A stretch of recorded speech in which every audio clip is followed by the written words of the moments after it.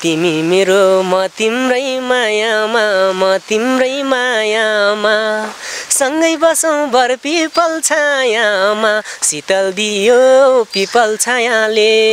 लुकी लुकी हेरेको किन हो मन लोभियो तिम्रै मायाले। अनि म चाहिँ एकमा पनि गीत गाउने चासो राख्ने मान्छे अनि बेला बेला बेला बखतमा चाहिँ गुनगुनाउने गीतहरू गुनगुनाउने है। अनि त्यो बेलामा चाहिँ शुक्रबारे कार्यक्रममा चाहिँ बिहिबारको दिनमा चाहिँ हेड सरले चाहिँ के भन्नुभएको थियो भने भोलि शुक्रबारे कार्यक्रम छ विद्यार्थी भाइ बहिनी हो शुक्रबारे कार्यक्रम छ भोलि अब गीतको तयारी गरेर आउनु भन्नुभएको थियो। अनि बाबा शुक्रबारे कार्यक्रम छ भोलि। अनि भोलि चाहिँ के गीत गाउनु त भनेको? त्यसपछि ल अरू गीत अरू गीत चाहिँ आएन अहिले। एउटा गीत चाहिँ सिकाइदिन्छु। त्यो गीत चाहिँ मजाले सुनाउनु भन्नुभयो। अनि भनिसक्नु भएको थियो अनि फेरि म बच्चा है बच्चा भएको मान्छे अब खासै त्यस्तो दिमाग हुँदैन नि टाढो सम्झना छ अझै पनि त्यो गीतको? गीत सम्झना छ। भनिदिनुहोस् न एकचोटि गुनगुनाउन मिल्छ। मिल्छ मिल्छ। अनि त्यो बेला चाहिँ त्यस्तै हो। अब त्यही पानको पात यस्तो यस्तो गीतहरू आएको थियो त्यो बेला ठ्याक्कै त्यस्तै खालको गीतहरू मैले बनाएर बाबाले के भन्नुभयो भने पानी पऱ्यो केराको बुङ्गामा आगो लगाइदियो हेडमास्टर जुङ्गामा भन्ने चाहिँ गीत सिकाइदिनु मलाई भन्ने गीत बाबाले सिकाएपछि पछि फेरि के भन्नुभयो भने होइन मैले यो जोग गरेको मात्रै हो अब यो गीत चाहिँ नसुनाउनु अब समस्या हुन्छ हेडमास्टर नै त्यस्तो भनेपछि फेल हुनसक्छ भाइ छोरो भन्नुभयो है। अनि होइन मेरो दिमागमा रहेन फेरि बाबाले यस्तो भन्नुभएको थियो भनेर फेरि मेरो दिमागमा अरू गीत गाउने आएन त्यही नै गीत गाएँ मैले। त्यो गाडीमा चढ्दाखेरि चाहिँ बेला बेला आफू नै यात्रा गर्ने कहिलेकाहीँ नाइट गाडी गाडीमा रोल्पादेखि काठमाडौँ काठमाडौँ रोल्पा गर्दाखेरि आफ्नै गीत बज्दाखेरि पनि अलिकति गर्व लाग्ने तर गायकी हो भने चाहिँ नचिन्ने होइन। अब तपाईँको गीत पनि बजेको बस्थ्यो सुन्नुभयो तपाईँले? हरेक अब पश्चिमी भेगतिर चाहिँ प्राय गरी गीत चाहिँ यो गीत फलाना गीत गीत गाउने मान्छे चाहिँ हो कि जस्तो लाग्ने। अनि मान्छेलाई मलाई पनि त्यो गीत बनाइसकेपछि कता कता हजुरले देखे जस्तो लाग्छ के के भन्ने कि? होइन हे हिजो हाम्रो सम्बन्ध जुटायो सम्बन्ध जुटायो। हो आज किन दैवले छुटायो तिम्रै हुन सकेन कोसिस गर्दा नि। हो एकै झल्को सम्झेनौ दुखीलाई आँखाबाट आँसु झर्दा नि। सत्तरीमा एउटा गीत निकाल्नुभयो जुन एल्बम निकाल्नुभयो त्यसपछि घर जानुभयो। बिचमा ग्याप चाहिँ किन यति ग्याप पछि फेरि काठमाडौँ आउनुभयो? काठमाडौँ आउनुको कारण जस्तो बिचमा गाउँमा गएर के गर्नुभयो यहाँले चाहिँ? अब गाउँमा गएर यस्तो अब एउटा गीत बनाइयो होइन भिडियो म्युजिक भिडियो गरियो। अनि अब आर्थिकको कमजोरीले गर्दा चाहिँ अलिकति म्युजिक भिडियो बनाउँदाखेरि पैसा ऋण परेको थियो। त्यो गर्दा गर्दा गर्दा अब गाउँमा व्यापार गर्न गयो गीत अब गीत गा काठमाडौँमा गीत गाएर बसेर बसेर त अब भएन अब पक्कै पनि अब गीत गाएर मान्छे अगाडि बढिने छैन अब पैसा नै चाहिँदो रहेछ। अब व्यापार व्यवसाय नै गरेर चाहिँ अब फेरि गीत सङ्गीतमा फर्किन्छु भनेर चाहिँ म गाउँ घरमा चाहिँ फेरि व्यापार गर्न गएको। व्यापार गर्नु। दर्शकबिन नमस्कार। यी विभिन्न हाइलाइट्सहरू हेरेर यहाँहरूले थाहा पाइसक्नु भएको छ। आज हामी एकजना प्रतिभाशाली गायक भन्न रुचाउँछु। म चाहिँ उहाँलाई रोल्पादेखि उहाँको जीवनयात्रा सुरु भएको छ। रोल्पादेखि काठमाडौँसम्म उहाँले जीवनमा भोगेका भोगाइहरू यो गायन क्षेत्रमा कसरी लाग्नुभयो? सुरुवाती दिनमा उहाँहरूले के कस्तो दुःख परिश्रम गर्नु पर्यो यो क्षेत्रमा आउनको लागि? यो क्षेत्रमा आउनलाई उहाँले केले प्रेरणा गर्यो? कसरी यो क्षेत्रप्रति आकर्षित हुनुभयो? उहाँका जीवनको भगाइका बारेमा गहिरिएर उहाँसँग कुराकानी गर्ने जमर्को गरेका छौँ।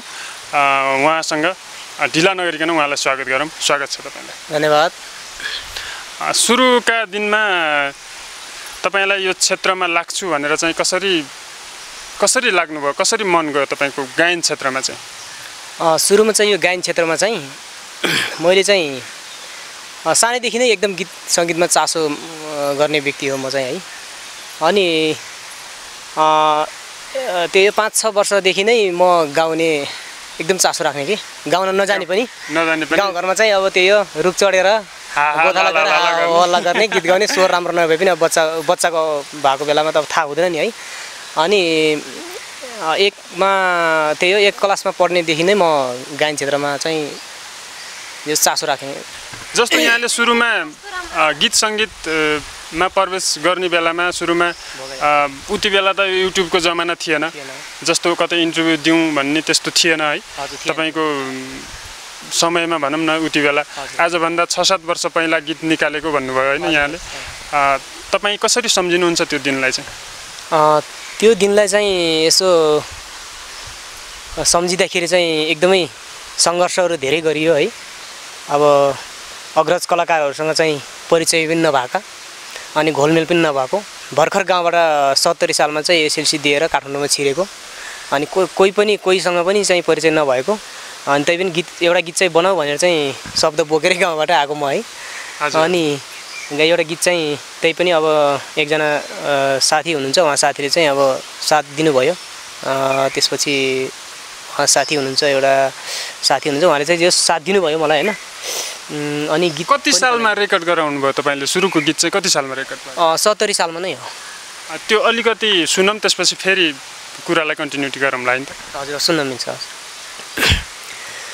हे हिजो हाम्रो सम्बन्ध जुटायो सम्बन्ध जुटायो। हो आज किन दैवले छुटायो? तिम्रै हुन सकेन कोसिस गर्दा नि हो एकै झल्को सम्झेनौ दुखीलाई आँखाबाट आँसु झर्दा नि। अँ, यो धन्यवाद। एकदमै मिठो गीत गाउनु निकै नै मिठो गीत। त्यति बेलाको यो गीत निकाल्छु भन्ने सोच चाहिँ तपाईँमा कसरी सिर्जना भयो? यो गीत निकाल्नुपर्छ अब म चाहिँ एल्बम निकाल्नुपर्छ काठमाडौँ गएर। भन्ने सोचाइ चाहिँ कसरी आयो? कसरी आयो भने म चाहिँ सानैदेखि नै ब बाल्यकालदेखि नै म गीत सङ्गीतमा चासो राख्ने मान्छे अनि गीत गाएर पनि फेल भएको मान्छे म एउटा कुरा है। अनि एकमा चाहिँ स्कुल फर्स्टमा भएको म अनि दुईमा दुईमा प्रवेश गर्दाखेरि चाहिँ दुईमा म फेल भएँ। भनेपछि एक कक्षामा चाहिँ? हजुर फर्स्ट। प्रथम आउनुभयो एक। एक कक्षामा। एक कक्षाबाट दुई कक्षा जाँदाखेरि। दुई कक्षामा चाहिँ फेल हुनुभयो। फेल भयो फाइनल इक्जाममा फेल फाइनल हुनुभयो। एक्जामै फेल भएँ म। एक वर्षको लागि नै ग्याप भयो?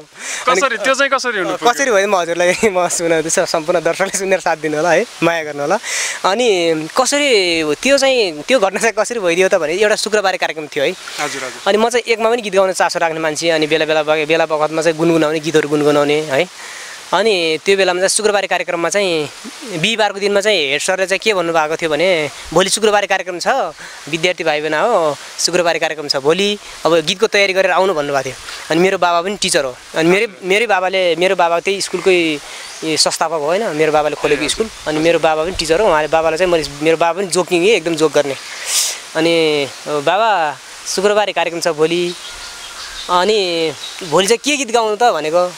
त्यसपछि ल अरू गीत न- अरू गीत चाहिँ आएन अहिले। एउटा गीत चाहिँ सिकाइदिन्छु। त्यो गीत चाहिँ मजाले सुनाउनु भन्नुभयो।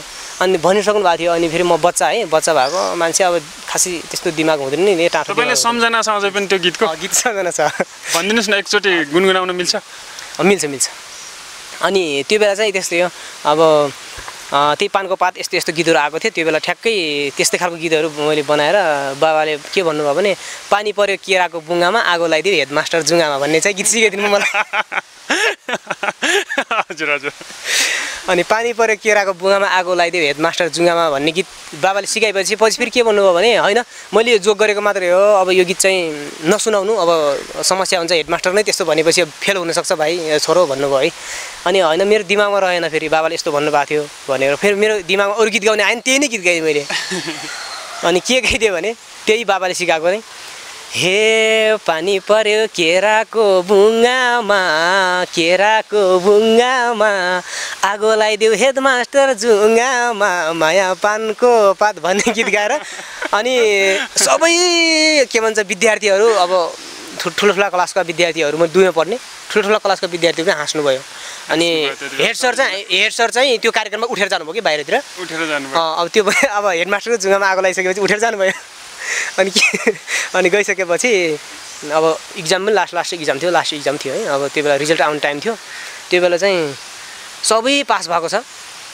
अनि म चाहिँ त्रैमासिक परीक्षा त्यसो दोस्रो त्रैमासिक परीक्षामा चाहिँ फर्स्ट सेकेन्ड फर्स्ट सेकेन्ड भएको रिजल्ट राम्रो आएको थियो तर लास्ट इक्जाममा चाहिँ म फेल भएको क्या तपाईँले त्यही गीतले गर्दा ब्याक गरायो गीतले गर्दा एक वर्षको चाहिँ लगानी चाहिँ डुब्यो।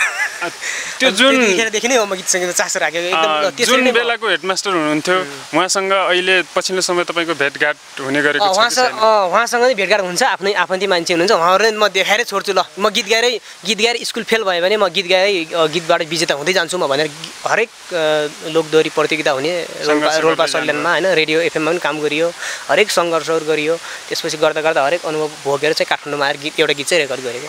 गीत सङ्गीतको क्षेत्रमा लागिसकेपछि सत्तरी सालमा जुन एउटा गीत निकाल्नुभयो त्यसपछिको तपाईँको दैनिकी कसरी बित्यो? दैनिकी अब के अरे गीत सङ्गीतमा चाहिँ लागेर अगाडि बढ्ने है अब सम्पूर्ण अब आफन्ती इष्टमित्र दर्शकको माझमा चाहिँ यसरी उभिएर बोल्न चाहिँ एकदम रहर हो। हजुर तैपनि हरेक आर्थिक कमजोर आर्थिक पारिवारिक हरेक कमजोरी चाहिँ मान्छे अलिक पछि पर्दो रहेछ अनि गीतका शब्दहरू लेखी लेखी गीत बनाउँछु भनेर गीतको शब्द लेखी लेखी तिन चारवटा कपीको पाना बुकहरू भरिसकेँ।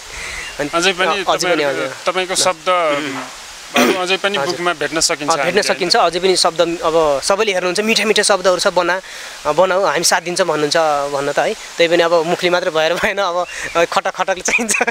होइन। मान्छेलाई पक्कै पनि। आर्थिक स्रोत नै हो। सब सबैभन्दा प्रभावकारी ढङ्गले अगाडि बढ्ने भनेको मान्छेको आर्थिक स्रोत नै हो। आर्थिक-। भयो भने चाहिँ मान्छे अगाडि बढ्न।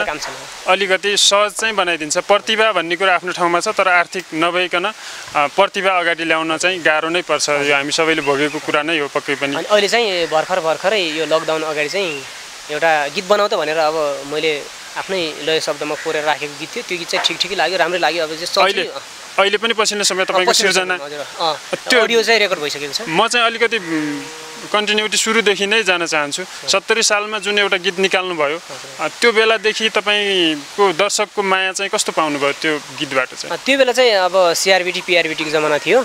अनि मेमोरी सिस्टम पनि आइसकेको थियो त्यो गाडीमा चढ्दाखेरि चाहिँ बेला बेला आफू नै यात्रा गर्ने कहिलेकाहीँ नाइट गाडीमा रोल्पादेखि काठमाडौँ काठमाडौँ रोल्पा गर्दाखेरि आफ्नै गीत बज्दाखेरि पनि अलिकति गर्व लाग्ने तर गायकी हो भने चाहिँ नचिन्ने होइन अब तपाईँको गीत पनि बजेको बस्थ्यो। सुन्नुभयो। तपाईँले हरेक अब पश्चिमी भेगतिर चाहिँ प्राय गरी गीत चाहिँ यो गीत फलाना गीत गीत गाउने मान्छे चाहिँ हो कि जस्तो लाग्ने अनि मान्छेलाई मलाई पनि अब त्यो गीत बनाइसकेपछि कता कता हजुरले देखे जस्तो लाग्छ के के भन्ने क्या जस्तो अहिलेको जमाना। जस्तो भइदियो भए चाहिँ मान्छेलाई प्रष्टै थाहा हुन्थ्यो कि उति बेला त एउटा एल्बममा फोटो जान्थ्यो होइन। त्यसको भरमा मान्छे छुट्याउन अलिकति गाह्रो नै हुन्थ्यो नि त त्यति बेला त। अब अहिलेको जमाना भइदियो भए इन्टरनेटको जमाना छ अब डिजिटल मिडिया आइसकेको छ एउटा गीत आउने बित्तिकै अलिकति राम्रो चलिदियो भने देशैभरिको दर्शक श्रोताहरूले चिन्नुहुन्छ होइन?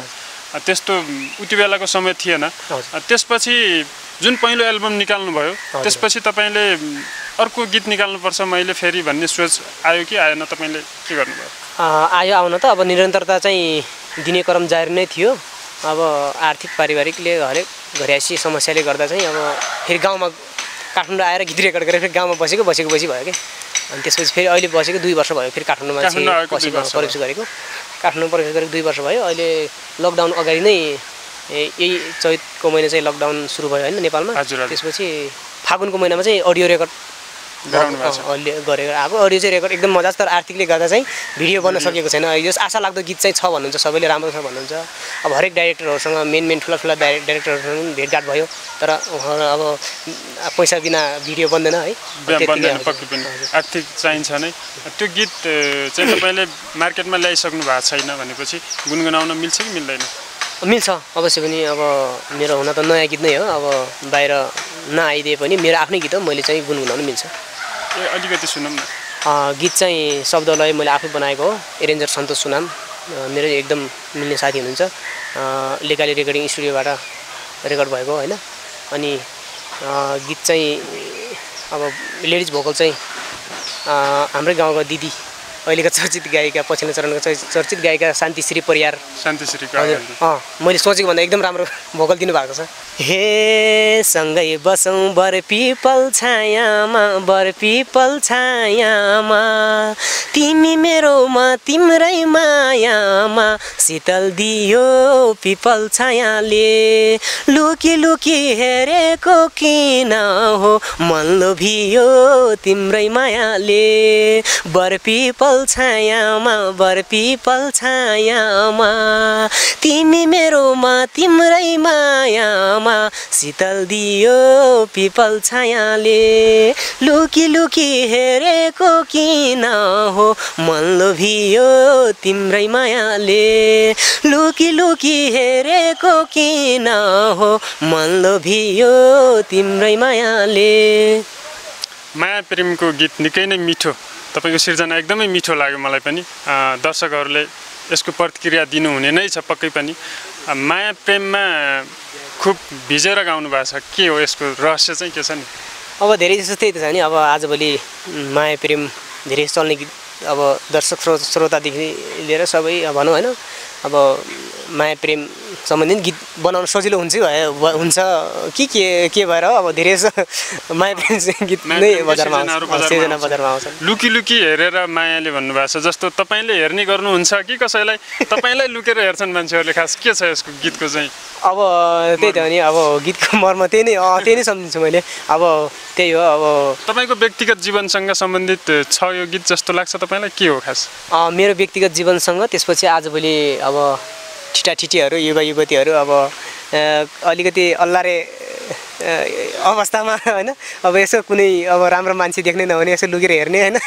अब के के कुनै केटी तपाईँ- तपाईँले पनि हेर्नुहुन्छ होला नि लुकेर त यसो हेर्ने गर्नु भएको छ कि छैन अहिलेसम्म? होइन अब नहेर्ने त कुरै भएन।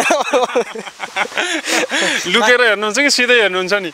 अब अलिकति के भन्छ अब त्यो चाहिँ मान्छे अनुसार हुन्छ अब।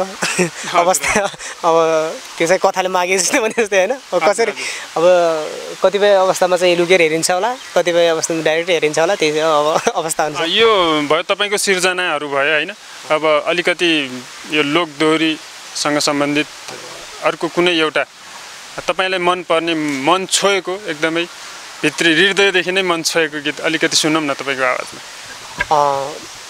आधा मौरी घारैमा आधा बनैमा आधा मौरी घारैमा आधा बनैमा आधा माया देखाइदेऊ आधा मनैमा आधा माया देखाइदेऊ आधा मनैमा।